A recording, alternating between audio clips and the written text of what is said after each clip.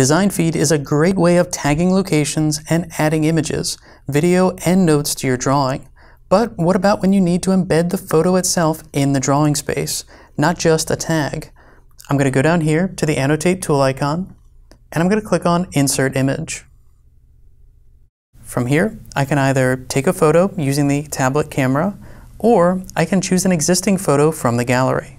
This means I can take a picture on site of the back of a house, and I'm going to use an existing one from here, but I assure you, taking one in the field is just as easy. And now I can locate and scale the photo. Now I can either trace the image using tools like lines and rectangles, or I can use the marker tool and trace it freehand. Want to be a little bit more precise than just scaling the image to nothing? I'm going to sketch a rectangle using the Apple Pencil, and I'm going to specify it as 8 foot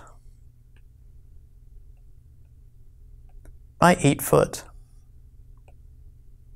the approximate size of my garage door.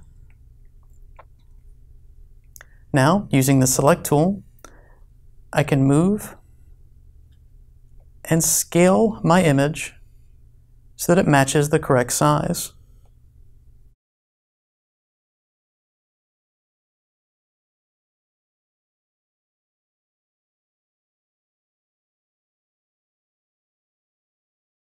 I've just scaled the photo using a known measurement. Now I can take measurements of the image itself.